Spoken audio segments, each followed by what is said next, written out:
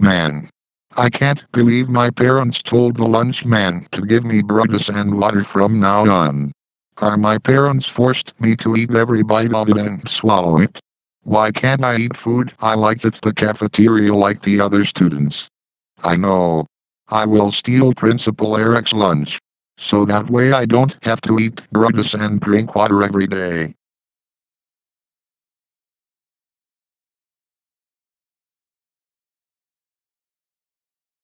Look. It's food from McDonald's. And what's inside there's two large french fries, two cheeseburgers, a bucket of chicken McNuggets, and an apple juice. I can't wait to get this stuff in my mouth.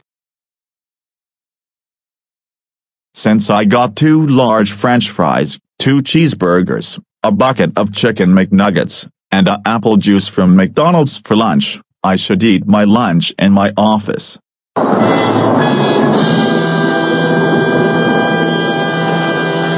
Wait. My lunch was at my desk, and now it's gone. I will notify the students that someone has stole my lunch. Wow. That lunch was good. I am never eating a burritos and drinking water ever again. Attention students. Someone has stole my lunch. Whoever is that student, report to my office now.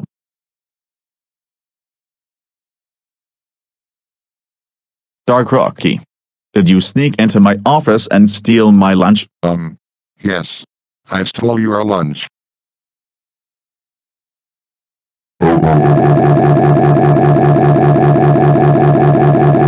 Oh, Dark Rookie, you know you're not supposed to steal people's lunch. Thanks to you I was really hungry. That does it.